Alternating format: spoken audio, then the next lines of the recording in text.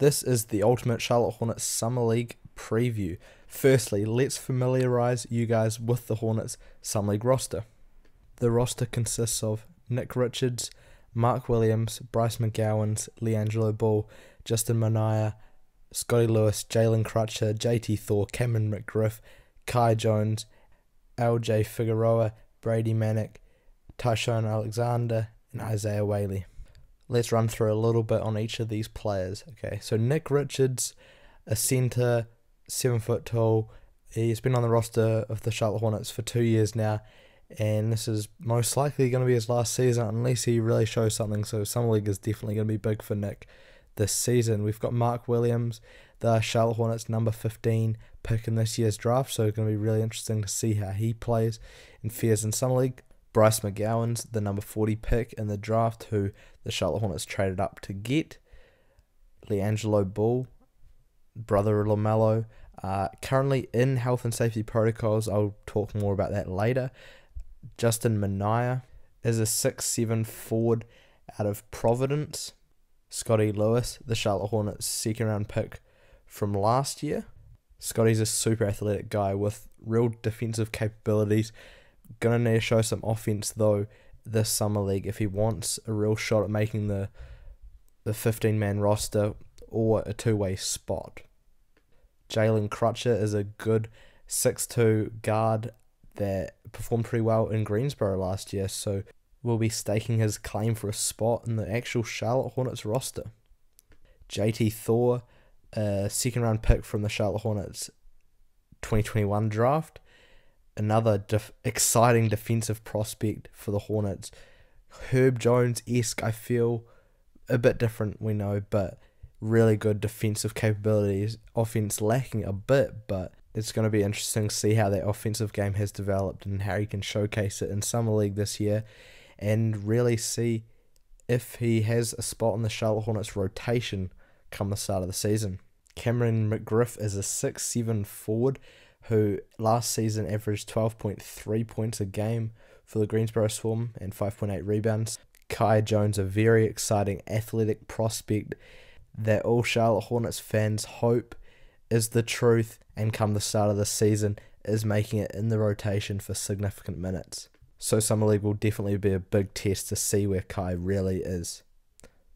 LJ Figueroa is a 24 year old 6'6 guard Brady Manek is a six-seven forward out of North Carolina. Ty-Shon Alexander is a six-three guard out of Creighton. And Isaiah Whaley is a six-nine forward out of Connecticut. One name you might have been surprised not to see on their list is James Bouknight, the Charlotte Hornets first round pick from last season, who a lot of fans wanted to see play a lot more in the summer league was going to be huge for him, but he's having surgery, unfortunately, on his right pinky finger, so he's going to miss summer league. So now for some LiAngelo Ball news, he got placed in the health and safety protocols on the 5th of July, and if he spends five days in the health and safety protocols, he might just be able to get out in time for the Charlotte Hornets' second game. So that would be very good for LiAngelo Ball. Now, let's get to the schedule. So, on Friday, the 8th of July, the Charlotte Hornets take on the Indiana Pacers. On Sunday, July 10th, the Charlotte Hornets will take on the Los Angeles Lakers. July 13th, on Wednesday, the Charlotte Hornets will take on the Cleveland Cavaliers.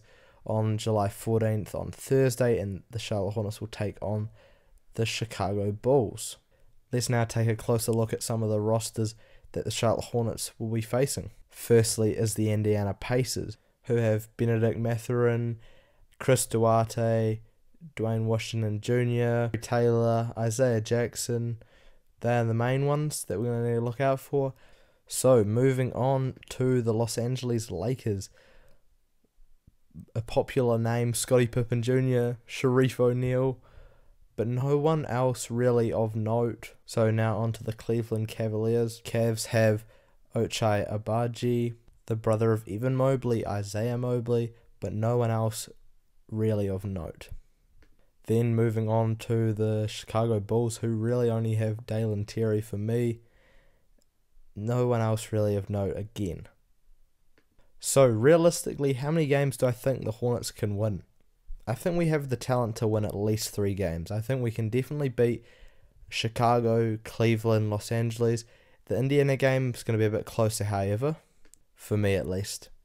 But you know what? I'm going to predict that the Charlotte Hornets win all four games. So now it's time for the three things that I'm looking for in at least the first game of Summer League against the Pacers. So, firstly, is Kai Jones noticeably stronger? Now, number two, does Mark Williams look like he belongs? Number three, who out of JT Thor and Scottie Lewis will impress me more? Hopefully, you guys enjoyed the video and it provided you some interesting details for the Hornets' upcoming Summer League campaign.